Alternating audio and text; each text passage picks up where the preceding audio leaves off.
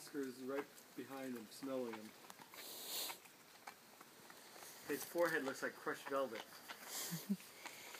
That's it. Mm-hmm.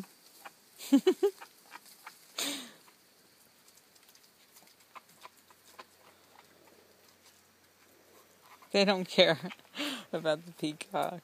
They're like, just leave me alone and let me eat some weeds.